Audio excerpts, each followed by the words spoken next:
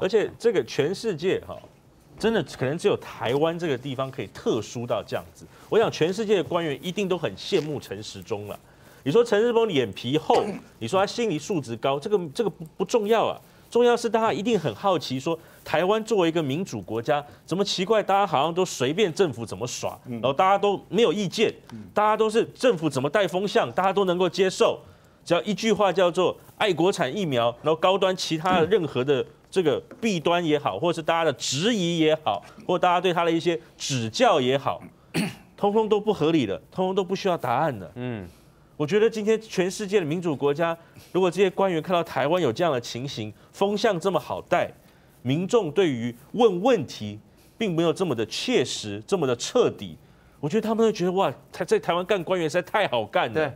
陈时中，你干脆去国外教大家怎么当官好了，怎么愚民好了，哦，怎么骗大家好了。对对对，那要先把国外的人教了跟台湾某些朋友一样，啊，容易洗脑、脑弱、脑弱，他们够脑弱。政府就有余地胡搞瞎搞啊！台湾很多人确实很脑弱，是不是？我们在民主的一个最简单的核心价值里面，就是去质疑政府、监督政府，以不信任政府，然后作为一个我们的基础嘛。那台湾现在的政府一天到晚告诉你要相信我啊，你要这个给陈时中一些空间，我们也能够接受在非常时期这样子，但是你完全资讯不揭露。不告诉我们一些正常的资讯、公开的资讯的时候，你叫人民如何自处呢？你反映出来这种心态，就是你好像高高在上，人家叫你，那你叫大家干嘛，大家都必须要接受。你命令大家现在做打 A Z 又打 A Z，你叫大家现在打高端就搞打高端。我觉得这种心态上的反应让大家很难接受哈。那在现在这整个疫情。啊，我们明明没有疫苗可以打，他又好像要抚恤人这人民的意志，他不愿意去做一些比较难的政治的一些这个判断，去开放我们整个回到二级，让大家很有可能染疫风险的时候，我觉得陈时中他一开始就是做了一个错误的决定，没有购买疫苗，到现在他一步错，步步错，他从来都没有什么叫超前部署。他都是走一步算一步，看看能不能糊弄过关、蒙骗过关。所以我觉得这个不管是老人家也好，年轻人也好，真的要开始多质疑政府，多看看有哪一些资讯是民众需要知道的。那陈时中这一年多的表现，告诉大家，他根本就不会为了大家的利益而为最他最高指导原则，他就是想要糊弄过关、蒙混过关。他认为他好像在卫福部长的一天当指挥官的一天，他就好像是为了自己未来的政治利益在谋取福利，所以大家要自求多福了。那这个至于愿不愿意打 A Z，愿不愿意打 Moderna 还是打高端，大家民众可以自我做选择都没有关系。重点是政府有没有提供一个足够的平台，让大家在平台上公平的来施打。还是像我们一直不断听到的，有一些黑箱的人士，一些啊奇奇怪怪的数字在一类、二类到七类的增加，或者说是一些造册没有打到，或者造册不存在的幽灵人口，这些事情都让大家很难接受了。嗯，来，我们的牙膏是不是在线上了？牙哥，来，晚安。好，你头先有听吼，我们气死唔知呢，基本上拢拢住无啦。第一季嘛无，第二季嘛无，个个老人家上网登记，个超商来帮忙，拢总拢总是为着高端要用用骗的啦，来啊，阿哥，恁手机，你还手机啥？我气死了啦！我爸妈打不到，我气死了啦！恁恁这款人你还没手机输啦？咱拢输，嗯，咱来冷静。啊，叫哦，叫做啥叫做师傅啊，你听有无？师傅哦。师傅啊，师傅啊。不是师傅，师傅是什么？师傅啊吼，咱叫做老千呐。老千，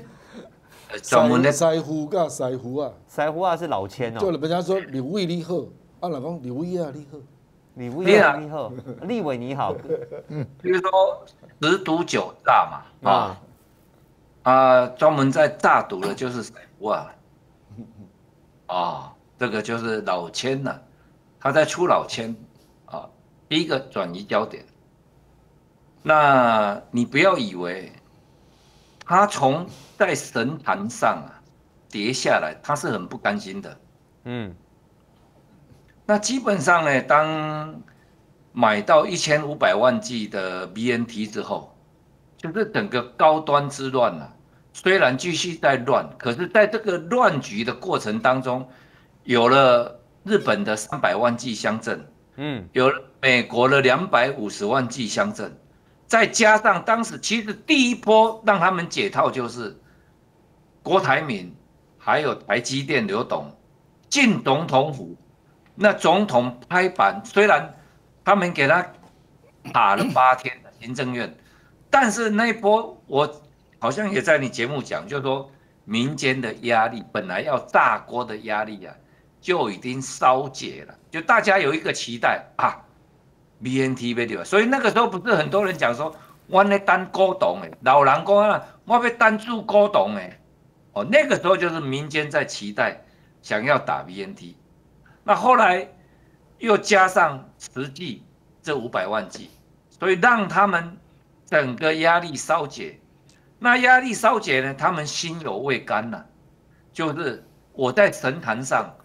第八十趴的满意度，竟然会跌到。不到五十趴，所以那个时候啊，他们不会就此死心了。民进党外讲伊袂安尼就死心嘛，因是最大的火起来架，靠可能神伊要放伊收过嘛。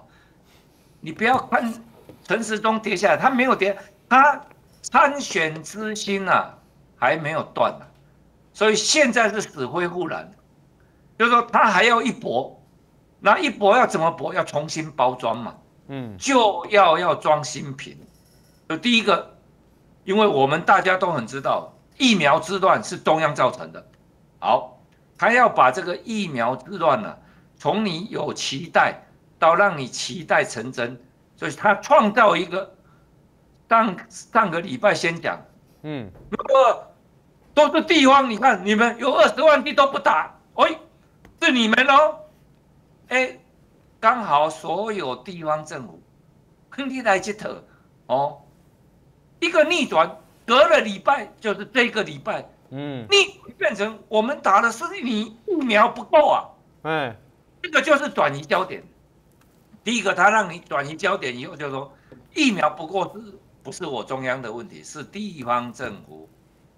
操作的问题。好，现在地方政府现在打完了，打了，有人说，你看你们插队哦，是你们有插队，到底谁在插队？从头到尾就是第二类跟第七类。你中央插了将近一百万人呐，是你在插队，所以我们这些莫德纳的孤儿，呃，亚细亚的孤儿，这个郭正亮跟我，我见了我我有你应用你，郭正亮去改了，加上 A G 嘛，对吧？你马去加 A G 啊，啊，要求真正。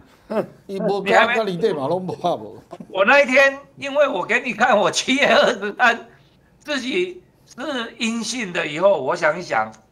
哎，这老博主哦，现在德尔塔这么危险哦，不要来清理哦，好告水小。后来 我就也去加上 A G，可是完全没有收到简讯，所以你就可以看到说，他现在的他博秋罗哦，他现在布的局不是为了要让你打到疫苗啊，你待会，那他也不全然就是要护航高端的啦。因为说实在的，你看那个，除了他帮你自动三个都勾起来的以外，扣掉以外啊，其实愿意打高端的不到两趴了。那你就可以看到，这个高端呢是西边的呀，我不骗你了。但是他要借着整个说，不是疫苗之乱，他还要一搏，他要重新翻，江皮被冰心了，他还会创造另外一波，他是神，他还在造势。还在想政治，所以你看，昨天，昨天开始又开始配合国际媒体，开始一波要新的宣传，你等着看好了。台湾的防疫是前段班的，那这个当然我们可以预期，就是说我们在上个月，我们也知道，假如我们的疫苗打得够，国门继续这样锁国，确实我们防疫的成绩是可以回升的。现在就是因为跟经济接轨这一块真的是落后太多，所以他们也预期得到，我们也如果今天疫苗又正是掌握在我们两三个人的手上。嗯，我们知道未来会看好的，形势会趋缓，就是疫苗这个问题。那现在就变成什么？就是经济的接轨，所以他才会又起心动念，又有这个起心动念的政治思考。所以你不要小看哦，这那个举步的很很巧妙。现在国际媒体出来了，哎呀，台湾你看这个蔡英文哦，知错能改，今天又有一个新的翻转，哇！真厉害，恁家真正贵变比贵较厉害啊！所以你在遐，那还台湾人写的啦，还还还还不是台湾人写的。苏世伦是台湾人呢，台湾人，台湾写的，而是台湾人写的啦，台湾人写的，台湾人写的，嘿。这个是转嘛，转换立场，借位嘛，借位发球嘛，所以慢慢你可以看到政府哦，他的大内宣又会开始了。那大内宣开始以后，只要他把疫苗的覆盖率拉到百分之五十。我跟你讲，他是安全下装的，右正，我给你保证，等到又等到我们的覆盖率达到百分之五十，很快哦，你不要小看哦，到八月底要百分之五十不难呐，春季各位娘呢，这一次人口比啊，未来三十天它可能就会降于冰心啊了，嗯，所以我看我一直在观察的是这个陈时中哦。